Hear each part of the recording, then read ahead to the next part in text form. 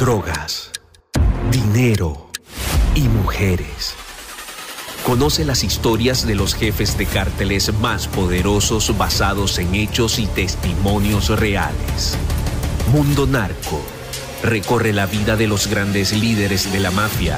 Descubre las causas que los motivaron a volverse delincuentes, cometer sus crímenes, tejer una red de complicidades alrededor del mundo y amasar grandes fortunas gracias a la venta de drogas y otros delitos. ¿Estás listo para entrar al mundo narco? Prepárate para un viaje a las entrañas del crimen organizado. Mundo Narco. Bienvenidas y bienvenidos a Mundo Narco, un espacio donde recorreremos la vida de los grandes líderes de la mafia, las causas que los motivaron a volverse delincuentes, cometer sus crímenes, tejer una red de complicidades alrededor del mundo y amasar grandes fortunas gracias a la venta de droga y otros delitos. Este es un viaje a las entrañas del crimen organizado. Y este podcast no sería podcast Mundo Narco eh, sin la presentación evidente de mi colega y amigo Jesús Lemus Barajas, periodista mexicano y autor de varios libros acerca de narcotráfico y sus nexos con la clase política y empresarial de país. Querido Jesús, ¿cómo estás? Gracias, mi querido José Luis Montenegro. Siempre un gusto y un placer poder compartir contigo este espacio, este podcast, para hablar y para tratar de develar los secretos de la mafia. Un placer y un honor colaborar contigo. Estoy bien. A tus órdenes, mi hermano. Perfecto, me, alegra escuchar eso, mi querido Jesús. Fíjate que eh, decíamos en el, en el, episodio pasado de Mundo Narco, justo hablábamos de Emma Coronela Ispuro. Para ya no darles tanta introducción, ya, ya han escuchado el podcast pasado y si no, acudan a él en las plataformas en las que nos encontramos, en Spotify, iHeartRadio, Amazon Music o Apple Podcast, para que ahí se pongan al tanto de los episodios de Mundo Narco. Hablamos de la infancia de Emma Coronel, hablamos también de su relación con Joaquín El Chapo Guzmán que ocurrió eh, cuando ella tenía apenas 17 años en este Festival del Café y la Guayaba en Canelas, Durango. Eh, entonces nos encontramos con una mujer que se quería eh, hacer pues a la vieja usanza con el Chapo Guzmán, es decir, atenderlo, cuidarlo, mimarlo. Y hablamos también de cómo las mujeres fungían o fungen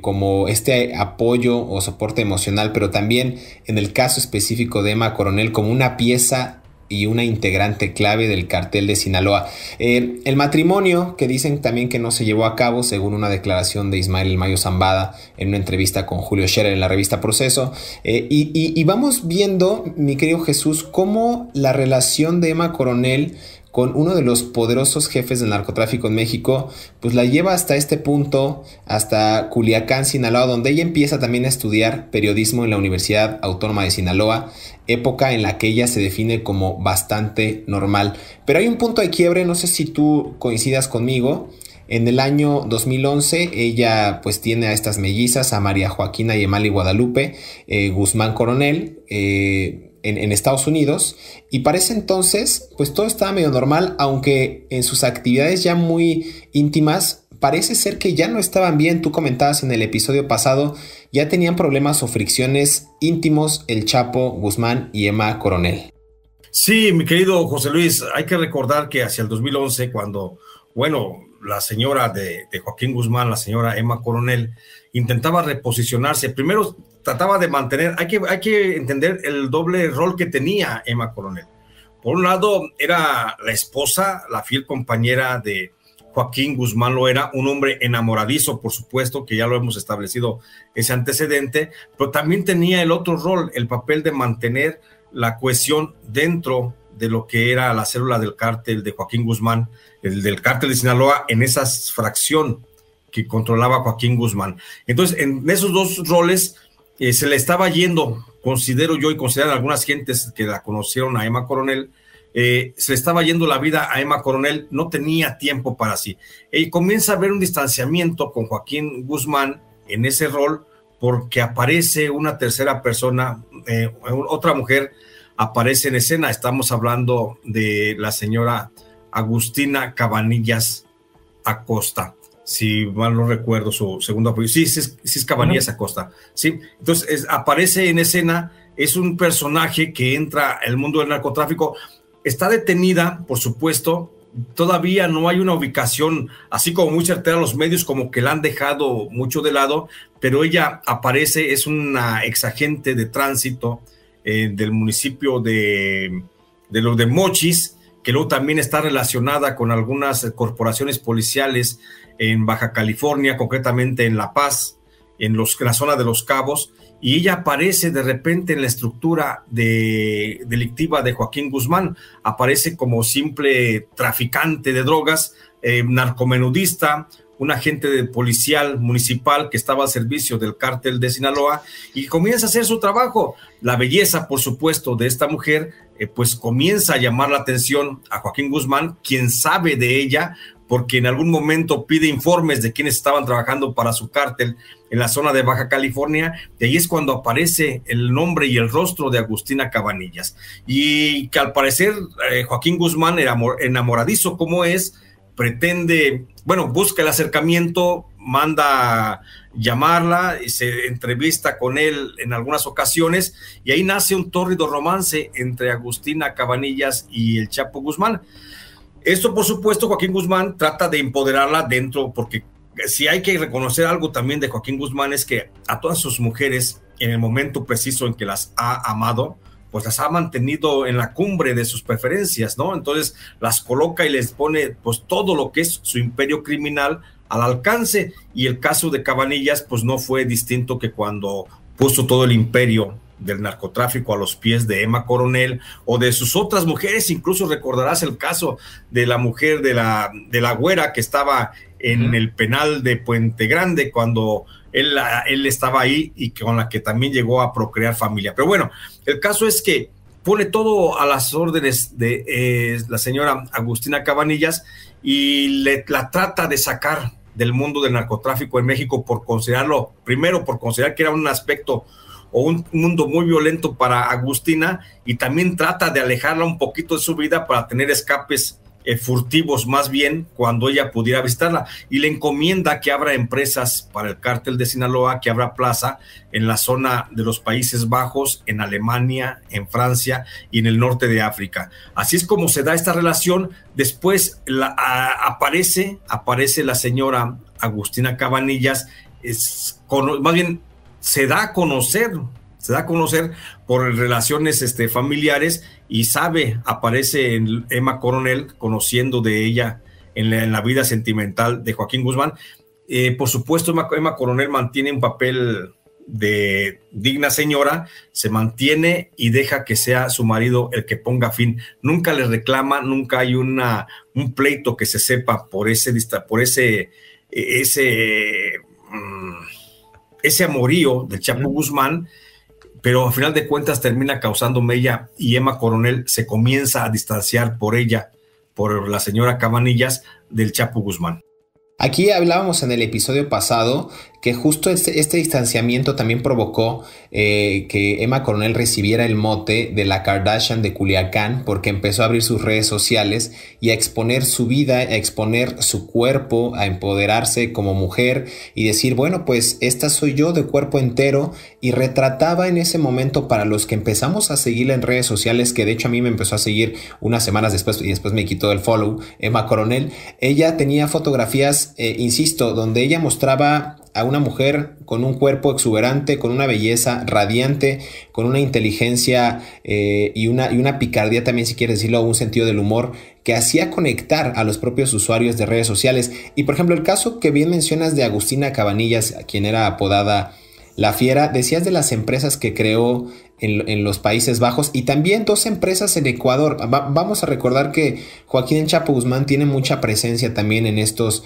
eh, países de Centro y Sudamérica para traficar drogas y el caso en específico de Cabanillas se conoció justo durante el juicio en Nueva York en Estados Unidos en contra del capo en enero de 2019. Nos vamos a llevar un buen rato hablando acerca de, del Chapo Guzmán, de Emma Coronel, y también hablamos en el, en el episodio pasado que hubo otros dos amoríos, o al menos así lo retratan los medios de comunicación, las tres amantes del Chapo Guzmán que, que Emma Coronel pues toleró. Hablamos ya de Agustina Cabanillas La Fiera, pero también está Lucero Guadalupe Sánchez, eh, la denominada Chapodiputada, eh, quien concluyó, digamos, de manera exitosa sus estudios en Derecho. Ella le, auguraba un futuro prometedor a sus 24 años, pues logró, eh, digamos, ganar una diputación local en México, en Sinaloa. Y en este sitio, ustedes recordarán, eh, bueno, la audiencia que, que, nos escucha y que nos ve a través de las redes sociales de Mundo Now, que hubo por ahí un episodio de esta Chapo Diputada donde se filtraron algunos videos cuando el Chapo estaba recluido en una prisión de máxima seguridad, ella entró, dicen, en varias ocasiones con identificaciones falsas y logró, este, inclusive, dicen, sostener eh, encuentros sexuales con el capo. Y también se comenta que el hijo que tiene la Chapo diputada es de Joaquín el Chapo Guzmán. Entonces, son al menos tres. Eh, ya mencionabas también a la güera y por ahí se menciona a la gringuita. Tú la recordarás, eh, mi querido Jesús, una mujer de nombre Valeria Rubí Quirós otra de las mujeres que tuvo nexos eh, con el Chapo, y su historia se conoció en el 2017 y reveló que durante dos años estuvo trabajando con el, con el capo mexicano. Ella vive en Estados Unidos y de forma inicial dijo que desconocía a su novio que era prófugo de la justicia, pero se trataba del Chapo Guzmán, según algunas entrevistas que concedió a eh, la, la, cadena Univisión. Entonces son tres o cuatro o cinco o seis al menos mujeres que le toleró Emma Coronel, pero un caso revelador porque como bien dices, como una dama, como una señora de la casa se impuso y no dejó que pues que ellas dominaran su matrimonio y lo vimos en el juicio contra el capo sinaloense, ella siempre estuvo al lado de Joaquín el Chapo Guzmán. Eh, no sé por qué intenciones, seguramente lo sabemos, quizás por el poderío, por el tema económico, por los vínculos, por no dejar sin sostén a sus hijas. Un caso que, que, da para mucho, mi querido Jesús. Pero déjame hacer una pausa porque nos estamos clavando en el tema aquí en Mundo Narco y regresamos para seguir desvelando estos secretos de la mafia, pero ahora eh, de la mano y de la historia de Emma Coronel Aispuro. Un tribunal de Estados Unidos dictó una condena de 36 meses de prisión contra Emma Coronel Aispuro, la esposa de Joaquín El Chapo Guzmán, el convicto líder del cartel de Sinaloa la resolución emitida en un tribunal de Washington DC se produjo el 30 de noviembre del 2021, luego de que Coronel de 32 años se declarara culpable en junio pasado de conspiración para traficar drogas, blanquear dinero y de participar en tratos financieros con el cartel de Sinaloa. Además de pasar tres años en prisión, Coronel deberá estar bajo libertad condicional por otros cuatro años. La fiscalía había solicitado al juez Rudolf Contreras una pena de cuatro años de prisión y el pago de 1.5 millones de dólares. Al dirigirse al juez, Coronel ofreció disculpas por sus errores y dijo que no quería que sus hijas gemelas, producto de su matrimonio con Guzmán Loera, crecieran sin sus padres. El ex jefe del cartel de Sinaloa de 64 años fue sentenciado a cadena perpetua en el año 2019. Como parte de su acuerdo de culpabilidad, también admitió haber conspirado para ayudar a su marido a escapar de una prisión mexicana en el 2015. Sin mostrar ninguna emoción y con su rostro cubierto por una máscara debido a la pandemia del COVID-19, Coronel dijo que entendía los cargos en su contra y las consecuencias de su declaración de culpabilidad. Cabe mencionar que cuando el Chapo purgaba una condena en una prisión de máxima seguridad en México, el capo le dijo a su esposa que iba a escaparse por un túnel le pidió ayuda para que arreglara los planes con sus hijos y otros miembros del cartel. Según la versión de las autoridades mexicanas y estadounidenses, ella se reunió con alguien conocido como Cleto, a quien le dio más de un millón de dólares en efectivo, dinero que en parte se usó para sobornar a funcionarios de la prisión. Coronel también se reunió con otra persona llamada Lázaro, al que pagó para comprarle tierras cercanas a la prisión y desde las que se construyó el túnel.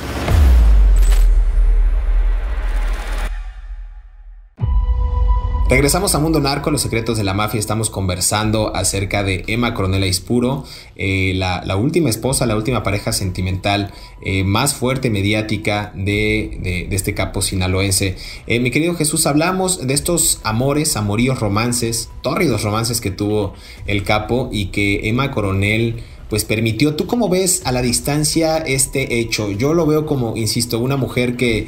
para evitar eh, quizás dejar sin sostén a sus hijas y también ella imponerse como la mujer que es eh, ante las demás eh, féminas, pues como la, la señora de, del señor Joaquín Guzmán. Yo pienso, yo pienso que fue más bien esto, esto último, mi querido José Luis, eh, demostrar la valía finalmente de lo que es la señora Emma Coronel y por supuesto el amor que sin duda le debe, le debe de tener hacia su esposo Joaquín Guzmán, lo que hizo que su matrimonio no zozobrara en, entre tantos amoríos, ya mencionabas tú a Valeria Rubí, a Guadalupe Sánchez, a la chapudiputada, eh, ya más bien pienso que fue Emma Coronel la que decidió y optó de manera muy inteligente para que su matrimonio no se hiciera trizas, porque a final de cuentas, te digo, dos roles importantes que tenía ella.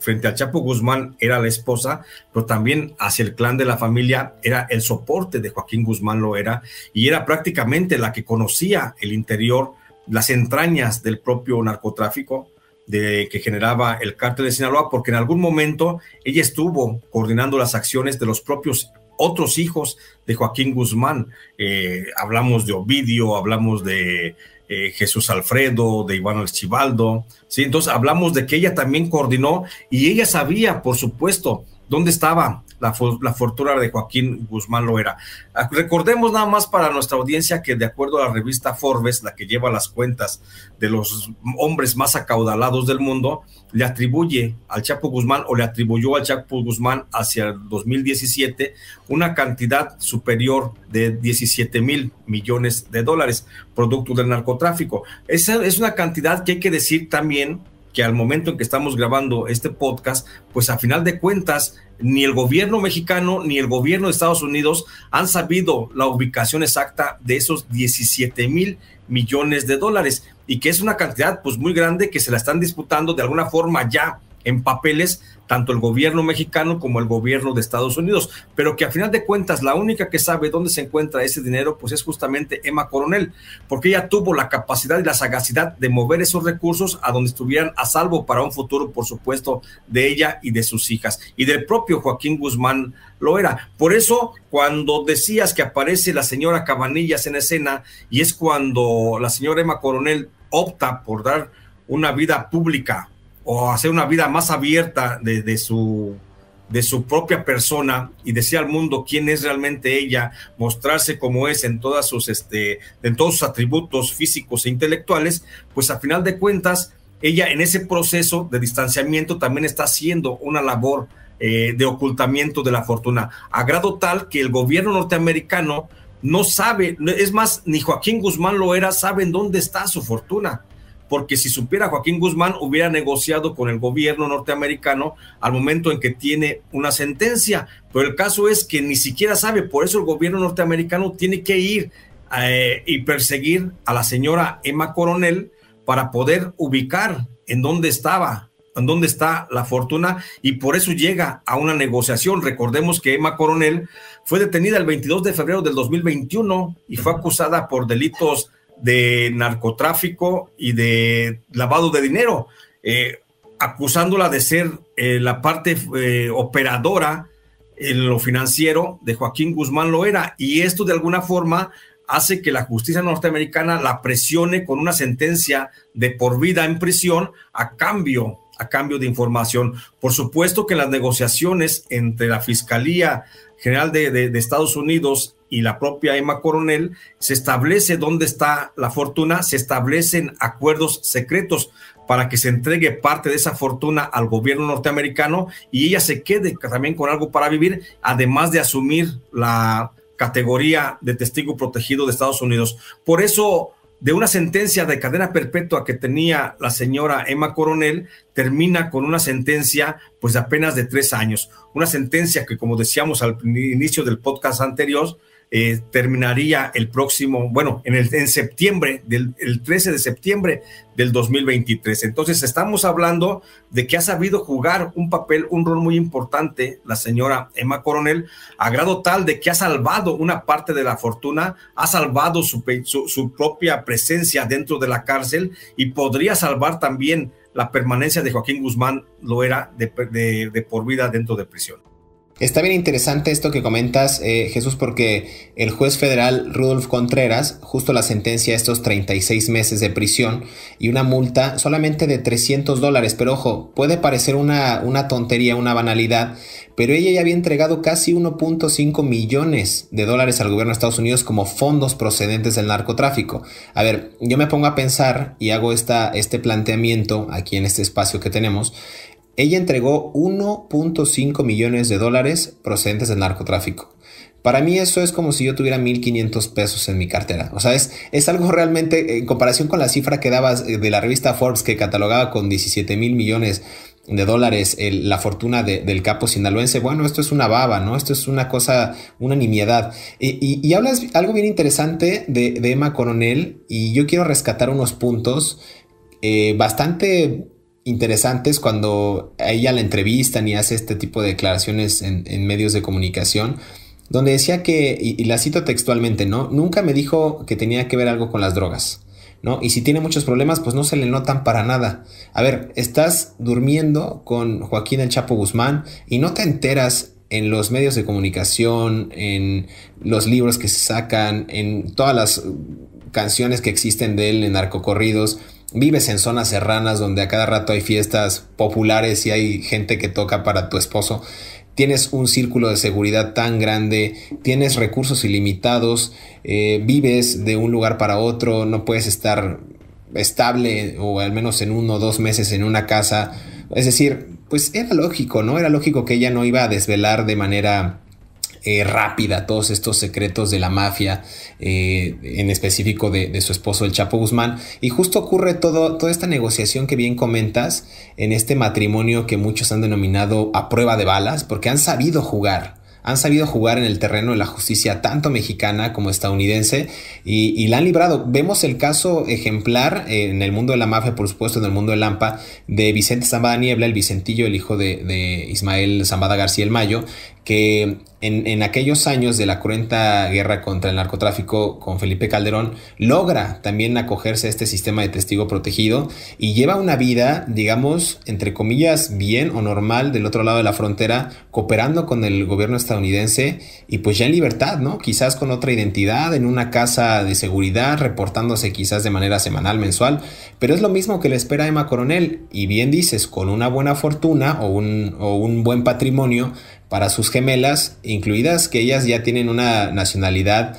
estadounidense y pueden hacer su vida fuera de foco, fuera de las cámaras y alejado de todo la, de toda la ola de violencia que se padece de este lado mexicano, mi querido Jesús. Así es, mi querido José Luis, imagínate de qué tamaño será la sagacidad de doña Emma, eh, doña Emma Coronel, a grado de poder tener disponible 1. millones de,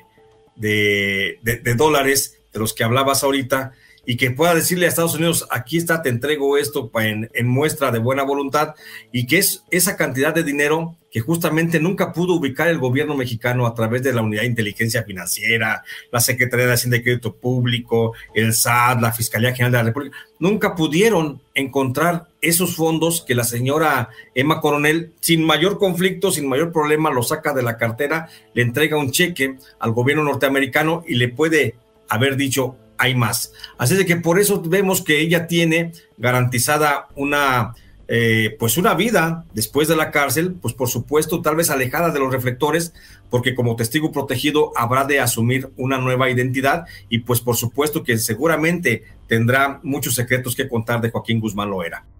Mi querido Jesús, vamos a la segunda pausa aquí en Mundo Narco, se está poniendo interesante. Vamos a hablar también en el siguiente bloque de estas declaraciones y quizás fricciones al interior del cártel de Sinaloa. Recordarás esta declaración tan fuerte que hace Damaso López Núñez, el licenciado, diciendo que Emma Coronel fue la que orquestó en el año 2015 la fuga del Chapo Guzmán del penal de Almoloya de Juárez en el Altiplano en el Estado de México. Vamos y venimos aquí a Mundo Narco, los secretos de la mafia. Cinco momentos claves de Emma Coronel en la vida del Chapo Guzmán. Número 1. Emma Coronel Aispuro, la esposa del narcotraficante mexicano Joaquín El Chapo Guzmán, se encuentra recluida en la prisión FMC Carswell, la institución penitenciaria ubicada en Fort Worth, en el norte de Texas, Estados Unidos. Se trata de un recinto federal que incluye un centro médico con la categoría de seguridad administrativa y un campamento satélite de mínima seguridad. Número 2. Para sus negocios, Emma Coronel explotó la imagen del Chapo hasta la saciedad. Registró su nombre como marca en una oficina de patentes. Sacó una línea de mercancías sobre él. Desfiló por reality shows con nombres tan evocadores como Cartel Crew, representando el papel de señora de un gran narco, y concedió un buen puñado de entrevistas con explosivos titulares. Número 3. Hace unos meses se hizo público que el día acordado para la liberación de Emma Coronel es el 13 de septiembre del 2023, por lo que cumplirá 31 de los 36 meses a los que fue sentenciada, aunque sus abogados han señalado que esperan que salga antes a través de algún programa de reinserción. Mientras eso sucede, Coronel pasará el tiempo que le queda de condena en un centro penitenciario para mujeres convictas con un total de 1.237 internas. Número 4. Como parte de su acuerdo con el gobierno estadounidense, Coronel acordó entregar alrededor de 1.5 millones de dólares de las ganancias ilícitas por las operaciones ilegales de su marido, aunque admitió que a lo largo de los años le había ayudado a distribuir al menos 450 kilogramos de cocaína, 90 kilogramos de heroína y casi 90 toneladas de marihuana a Estados Unidos. Número 5. Coronel lucró alquilando propiedades compradas con dinero de la droga, y ofició de intermediaria entre integrantes del cartel y su marido cuando éste estaba preso en México. También ayudó a planificar y coordinar la espectacular fuga de prisión del jefe narco en México a través de un túnel en el 2015. Regresamos a Mundo Narco, los secretos de la mafia, estamos conversando acerca de Emma Coronel Aispuro. Antes de irnos a esta pausa, hablábamos eh, acerca de cómo logró negociar o está en este, en este estira y afloja, como decimos en México, con la justicia norteamericana Emma Coronel y cómo pudo desembolsar más de un millón de dólares y decirle a la justicia norteamericana, mira, toma, esto es quizás en garantía de, como bien decías mi querido Jesús, hay más dinero, hay un bonche por ahí que puedo yo eh, comentarte, puedo brindarte, pero lo está dando a cuentagotas en esto que parece ser una historia que pues todavía no tiene final. Eh, hablamos justo también de cómo Damaso López, estamos hablando del licenciado que fue capturado en una zona residencial en la Ciudad de México, en Polanco, eh, lo extraditan y en su juicio, en el juicio contra el Chapo Guzmán, declara que Emma Coronel fue quien coordinó la fuga del penal mexicano del Altiplano en julio de 2015, algo que no ha sido comprobado, pero que dicen que junto con los hijos del Chapo, estamos hablando de Iván Archibaldo y Jesús Alfredo Guzmán Salazar y Ovidio Guzmán López, pudo ella coordinar esta presunta huida del capo de uno de los penales de máxima seguridad. ¿Tú cómo ves este panorama, mi querido Jesús? Así es, José Luis, pues es, efectivamente el gobierno federal mexicano no ha podido, no ha podido eh, confirmar el hecho de que Emma Coronel haya participado en la fuga del Chapo Guzmán del Altiplano, pero tampoco lo ha podido desmentir. Y eso es mucho. El hecho de que el gobierno mexicano, con toda su estructura de inteligencia, al día de hoy todavía no sepa por dónde se fugó el Chapo Guzmán, porque hay que decirlo de manera certera, el Chapo Guzmán nunca se fugó por el túnel que dijo, dijeron los medios de comunicación que se había fugado. Yo estuve en esa zona, igual que tú también lo estuviste en la investigación. El túnel no llevaba a ningún lado, el túnel era era un túnel que estaba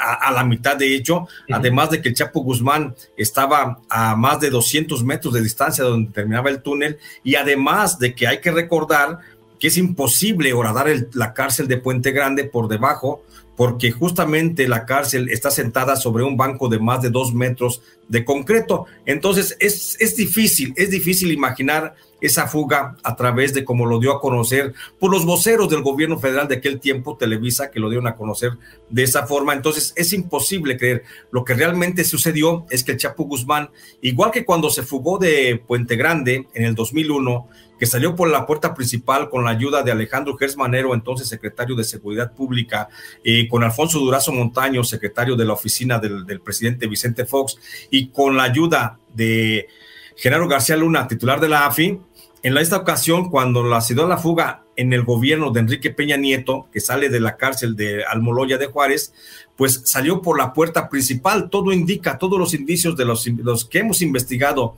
esta fuga refieren que el Chapo Guzmán salió vestido entre la población que fue a la visita de ese día eh, en que se dio la fuga. Eh, por supuesto que toda la operatividad desde adentro que se dio para una serie de complicidades, comprar una serie de funcionarios, de custodios, de, de personal administrativo, de personal técnico de la propia cárcel de Almoloya, todo fue eso fue un plan que orquestó la señora Emma Coronel.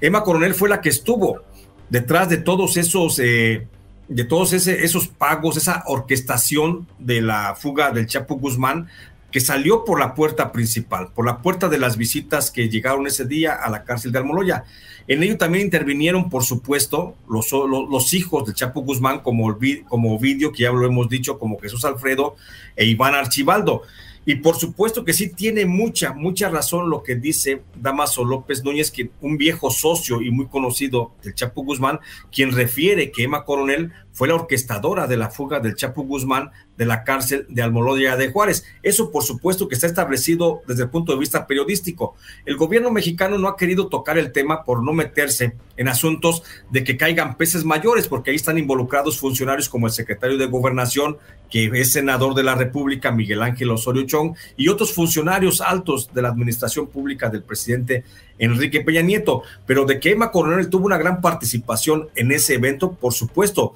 igual que como tuvo la participación cuando comenzó a orquestar un plan para que el Chapo Guzmán se fugara de la cárcel federal a la que fue llevado después de su captura, luego de la fuga de Almoloya, y que fue llevado a la cárcel de Chihuahua, a la cárcel federal, donde ya también se estaba orquestando un plan para que se diera la fuga y que eso fue lo que permitió que un sector de la, del gobierno del presidente Enrique Peña Nieto optara por la entrega inmediata de Chapo Guzmán en la extradición a Estados Unidos para que fuera sentenciado de manera rápida y no, y no ocurriera la tercera fuga que ya se estaba orquestando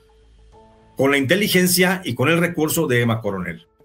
Está bien interesante porque justo en, al menos en la fuga de, del altiplano que ocurre en el, en el año 2015, que fue exitosa en términos, en términos del mundo de Lampa criminales, eh, por ahí detecta el FBI una, una, carta que envía el Chapo a Emma Coronel y le, y le escribe, y cito textual, te pido que siempre haya acuerdo entre tú y mis cuatro hijos, contrata contadores a lo largo del estado, págales a la gente y viudas de ahí, y de lo que quede cada mes, y fíjense bien esto, ¿eh? la mitad es para ti y la mitad es para ellos cuatro. También esto habla, no sé si tú lo veas igual que yo, mi querido Jesús, pero habla de la gestión de la eficiencia y de la confianza que le tenía el Chapo Guzmán a Emma Coronel para atribuirle el 50% de las ganancias de las operaciones ilícitas del narcotráfico. Estamos hablando de sobornos, de corrupción, inclusive de compra de voluntades políticas y, de, seguridad a Emma Coronel, o sea, la, ganancia era para ella. Entonces, me parece también sintomático de un capo enamorado, pero también preocupado por el bienestar, como bien lo decías al principio de este podcast, de sus mujeres. Nunca las dejó desamparadas, nunca las dejó eh, a la deriva, siempre tenía esta atención puntual para ellas y, quizás ellas le correspondían con la misma confianza, pero sobre todo con la misma complicidad. Eso, eso es al menos lo que yo alcanzo a ver a la distancia. Y bien hablas de esta relación eh, que tenía con los hijos del Chapo, que en algún momento también hay una fricción entre ellos. Yo pude platicar al menos con dos de ellos eh, por mensajes cifrados a través de, mensajeros, pero decían justo eso, que hubo una, una ruptura a raíz de que su padre se encontraba ya en otras ligas o hablándole a otras mujeres, inclusive cuando pasó el caso, recordarán ustedes, de Kate del Castillo, la actriz mexicana, con él, también hay una ruptura grave porque ella no sabe y no se entera que estaba viendo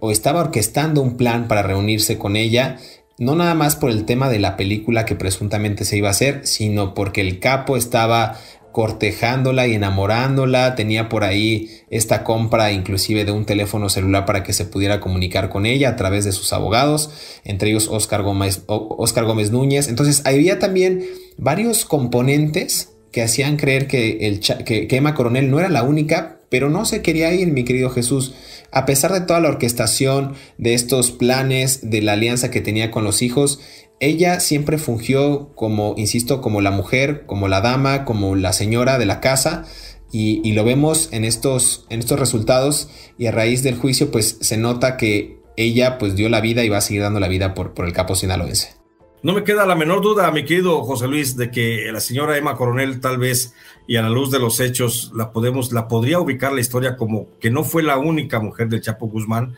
pero creo que sí fue la primera mujer del Chapo Guzmán. Y tan así es que a la fecha sigue siendo la que mantiene el control de la hegemonía económica que mantiene la familia del Chapo Guzmán y que eso le ha valido mucho, ha sido la tabla de salvación para ella para que se le mantenga en esa condición privilegiada de testigo protegido y pueda rehacer su vida luego de haber estado al lado del el narcotraficante, tal vez el más importante de la historia mexicana.